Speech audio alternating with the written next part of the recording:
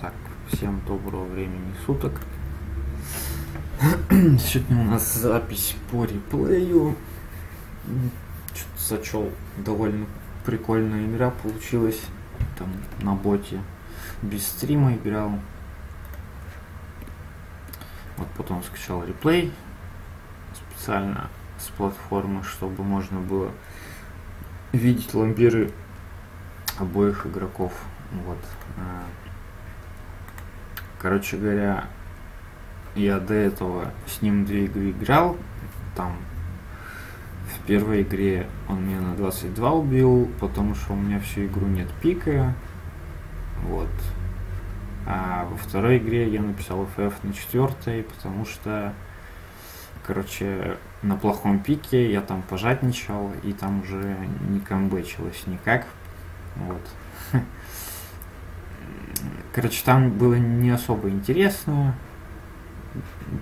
Не из, даже не из-за того, что было проиграно, а тупо пиков как бы нет, чтобы сопротивляться. вот.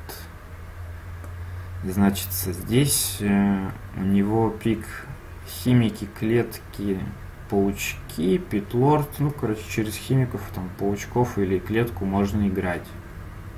Вот, он играет через два химика. Так, ну а я играю через морфов.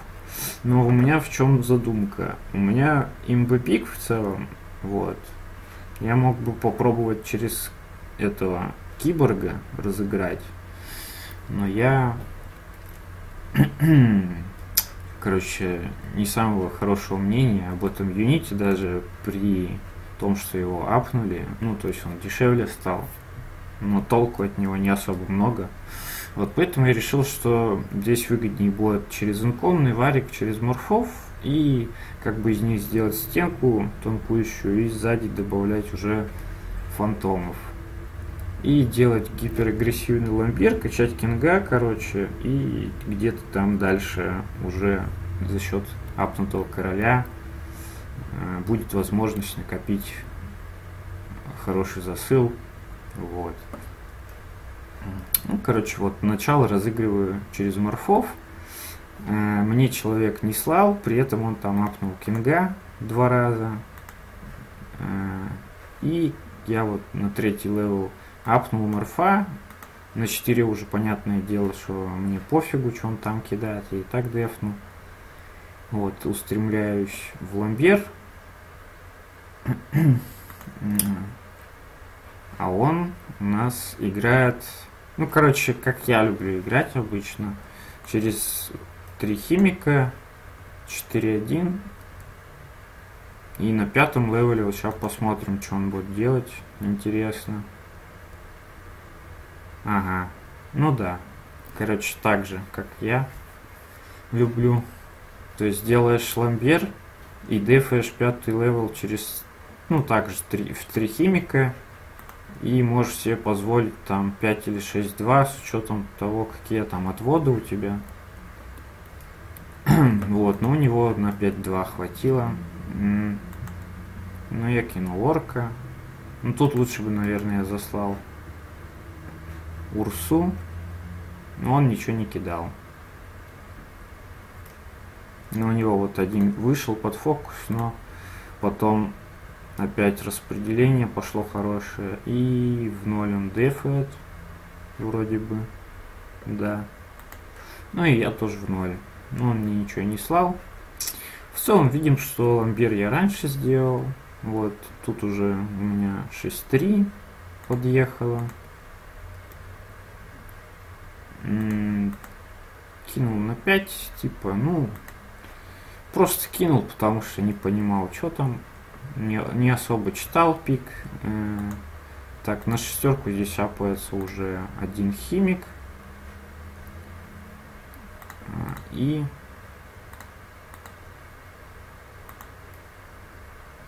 куда он будет слать? Я что-то забыл.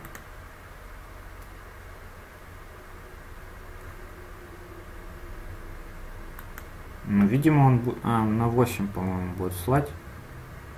Так, на семерку еще один химик. Ну да, прикольно.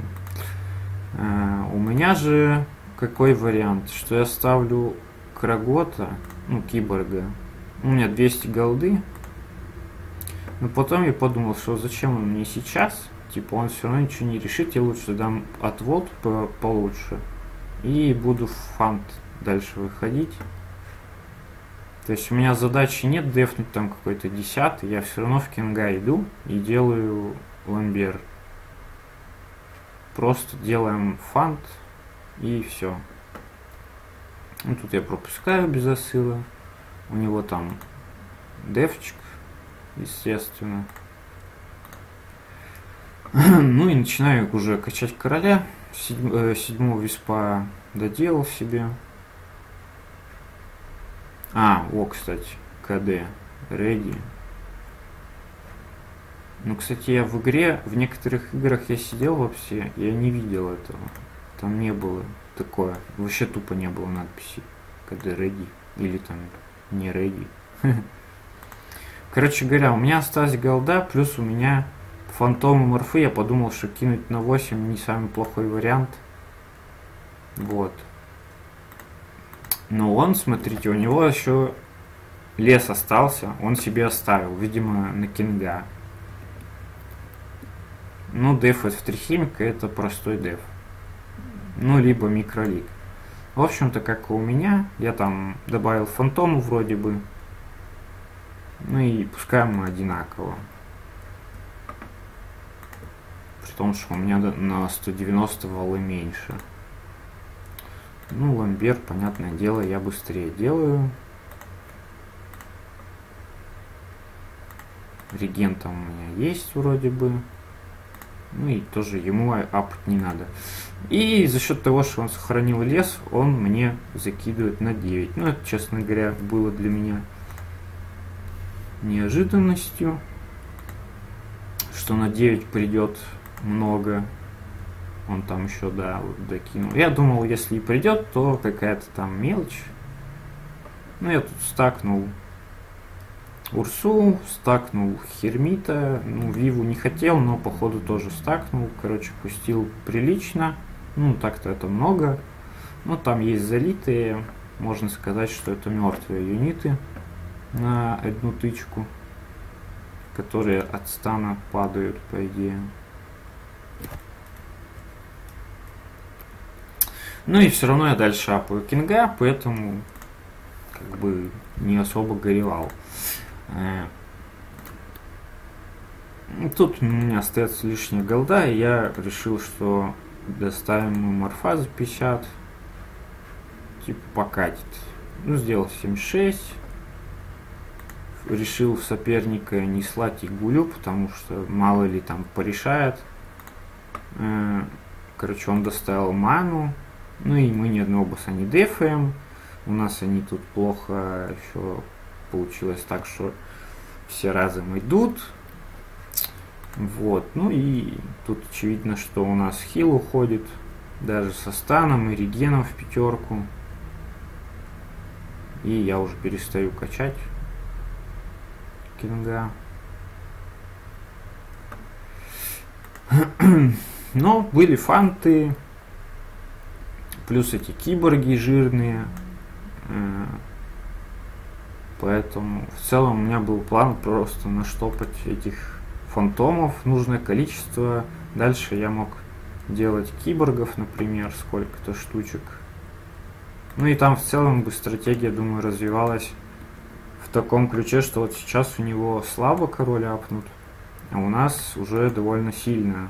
И типа и пофигу, что у нас нет хила, мы его заставляем апать кинга засылом каким-либо. Ну тут это по сути один засыл, засыл на 13 волну.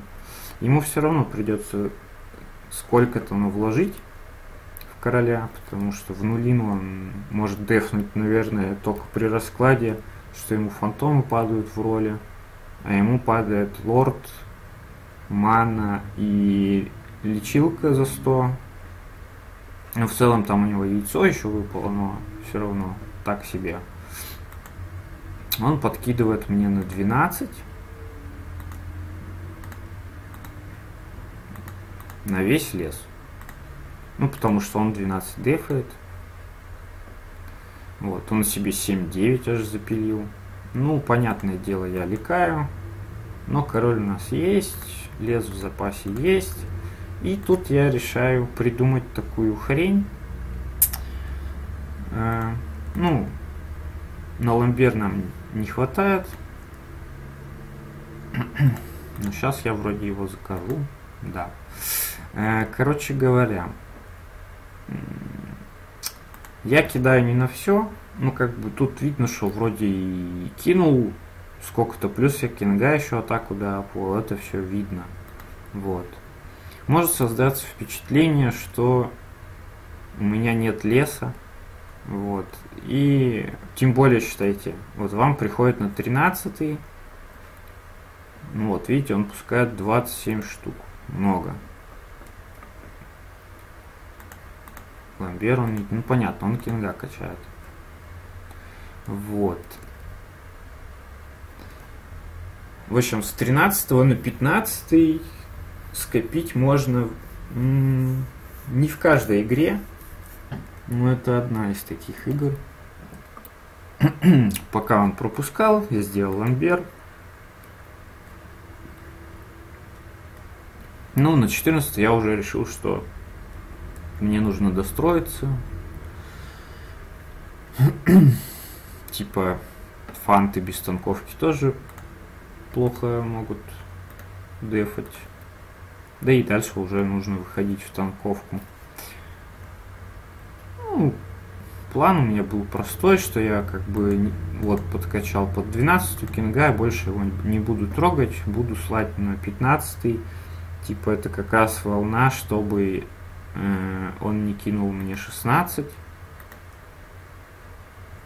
много, и мне не пришлось опять же вливать в кинга лес, потому что у меня нет хила типа, и чтобы не проиграть, соответственно, я должен лес тратить.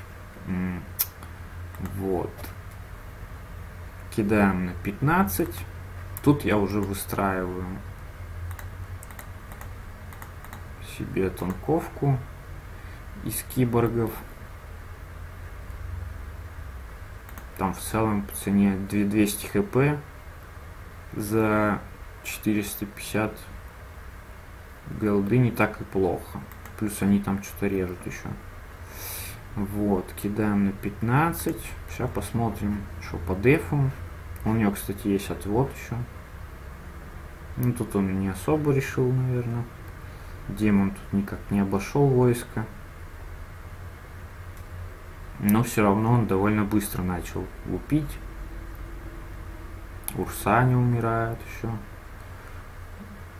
Дает свою ауру.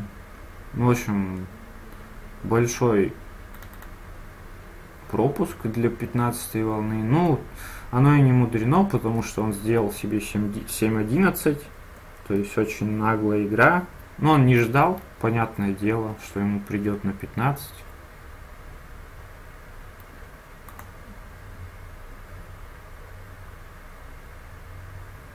Вот. Ну тут понятно, по ламберам у нас одинаково, но дальше он уже не делает. Он уже видит, что по value все не очень здорово. И нужно уже страховаться. А, что он делает? Он, короче говоря, кидает мне на 16 кряку, ну типа на income. Он типа думает, что сейчас вот э, на хадесах, короче, на мане он сейчас будет в мидираста играть в late. Э, ну и так как у него высокий ламбер и так далее, вроде как выгодно слать постоянно каждый level. Он мне и на 17 тоже подкидывает. Но я, э, видя, что происходит, качаю себе ламбер. Пока он мне дает возможность. Ну, то есть я понимаю, что я буду по чуть-чуть пропускать, но не критично. Типа у меня есть король. вот. И за счет этих ликов, короче, тянется время, и я делаю ламбер а он набивает себе потихоньку инком и все это в, вал направляет.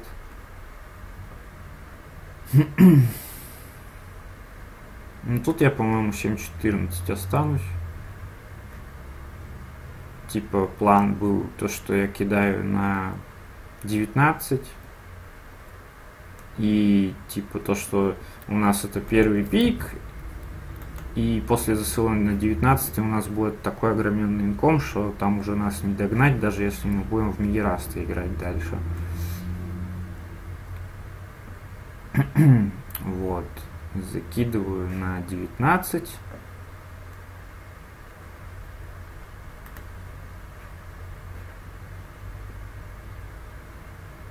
Что там у меня еще скопится? Тайт, по-моему, накопится. Ну ладно, это мы попозже. Вот здесь постройка. Тупо Хадесы под маной. Тускар апнутый. Лечилка. В общем, довольно забавно.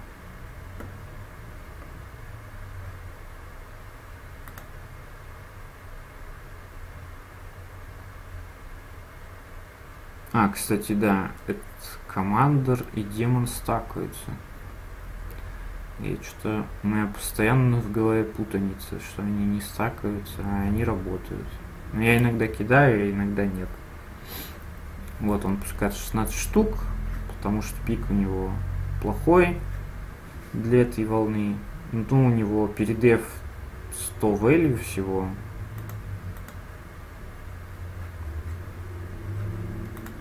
Вот, и он как бы понимает, что надо апать кинга, что проблема тут.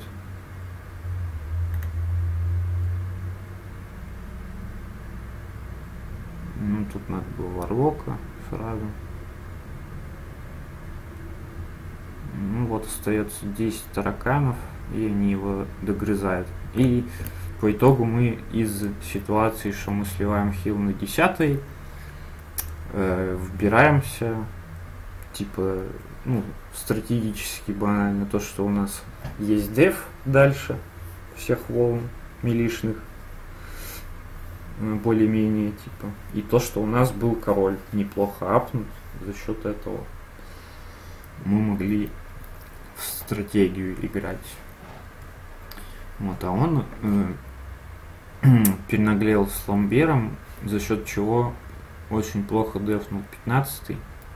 Ну, хотя у него в целом пик плохой против 15 но если бы он не, дел, не было бы у него там 7, сколько у него там было. У нас одинаковые, по-моему, ламберы были на 15 если у него даже не больше. В общем, там супер наглая игра от него была. Вот. Будь у него больший вал, я думаю, он мог бы хил сохранить, и на 19 он тогда бы не умер. И вообще, возможно, игра по-другому пошла. Но, собственно, его право.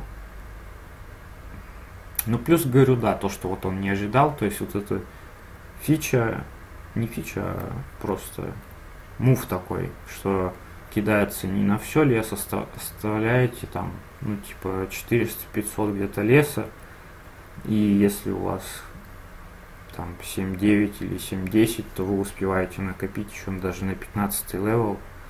Такой неплохой засыл. Там демон кряк, верлок, урса, по-моему, у меня накопилось.